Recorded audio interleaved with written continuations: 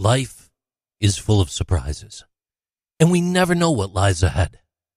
It's a never ending journey of discovery and exploration where we'll meet new people, visit new places, and have new experiences that shape who we are and what we do. If you live each day as if it were your last, Steve Jobs once said, you'll be right someday.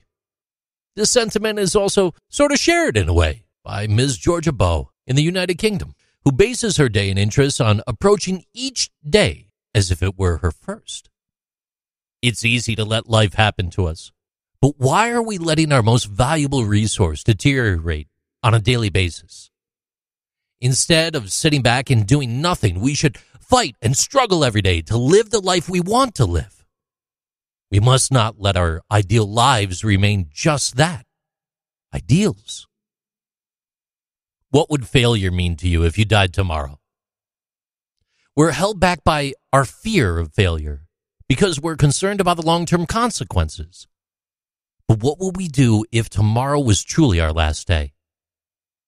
You could be very grateful for the next day and recognize how fortunate you are to be alive.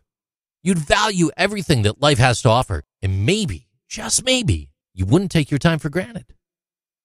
Every day, we should be thankful for and connect with people that we care about. We should express our thoughts and feelings to others. We must do what's important to us by assisting our neighbors and others in need. Maybe we could even just simply try to learn something new every day. Of course, we can't do everything we enjoy and care about in a single day.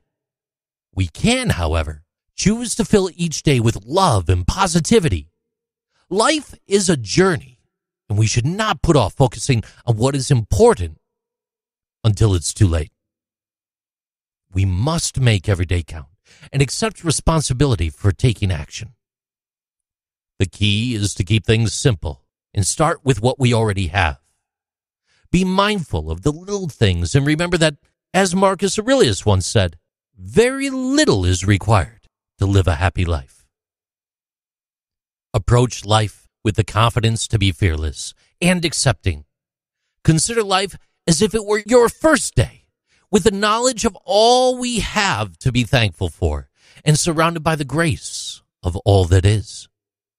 We can make the most of our time here on earth and live our lives to the fullest in this very simple way. These are interesting things with JC.